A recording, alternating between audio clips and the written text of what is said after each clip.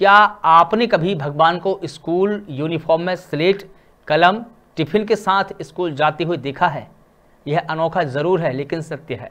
बुरहानपुर के स्वामी नारायण मंदिर में यह परंपरा वर्षों से चली आ रही है, जिसे धनुर्मास कहते हैं। इसके बारे में जो भी सुनता है, पहले तो हैरान हो जाता है। ऐसी मान्यता है कि धनुर्मास में भगवान स्वामी नारायण विद्या अर्जित करते हैं, इसके लिए वो स्कूल जाते हैं।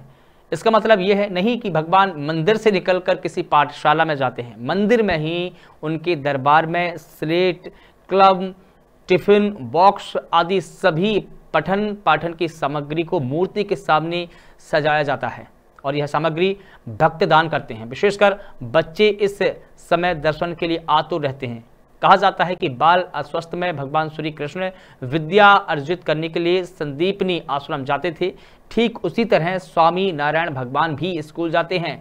भक्तों ने बताया है कि वर्षों से यह परंपरा चली आ रही है। इसके लिए मंदिर में विशेष तैयारियाँ की जाती है। इस धनुर्मास में भगवान सुबह सुबह मंगला आरती भी जल्दी होती है श्रृंगार आरती दर्शन करके भगवान विद्या अभ्यास करने के लिए जैसे भगवान श्री कृष्ण भगवान उज्जैन में सांदीपनी मुनि के आश्रम में विद्याध्ययन करने गए थे। इसी भावना को लेकर के प्रतिवर्ष भगवान भी विद्याभ्यास करने के लिए स्कूल में जाते हैं। इसी तरह से उनके लिए हाथ में टिफ़िन बॉक्स भी दिया जाता है, दफ्तर बैग बैग भी दिया जाता है, स्लेट पट्टी भी दी जाती है। और कलम वगैरह भी उनके हाथ में दी जाती है।